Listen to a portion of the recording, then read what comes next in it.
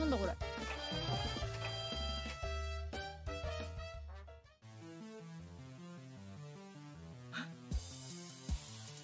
怖い。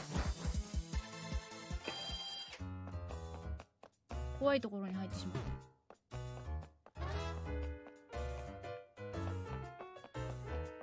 う。なんだ今の。ポケモンセンター。洋服屋さん？怖かった今。ちょっと恐怖を感じた。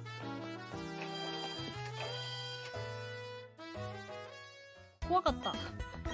洋服屋さん。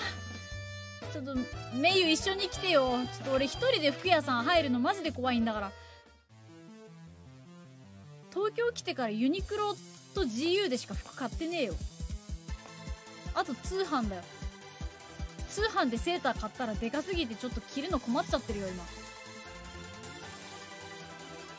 実家に行った時に買った洋服とあとはこっちで GU とユニクロであのダンスの練習用で買った服ぐらいしか着てねえよ。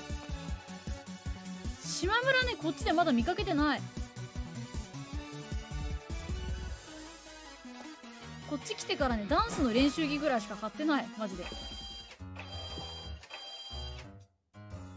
この間初めて ZOZO タウンってやつ使ってみたらさ届いたさセーターがでかすぎてさ困った。こんにちは。店員さんと目が合う。えこれもしかしてお店の人に話しかけないといけないのかな？何を買うか迷っちゃう。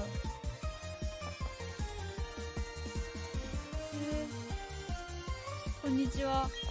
いらっしゃいませ。はい。当店ではお洋服と髪型のスタイルをトータルコーディネート。トータル？髪の毛もやってくれるんですか？ファッションスタイル指を震えようこそ。何かお探しでしょうか？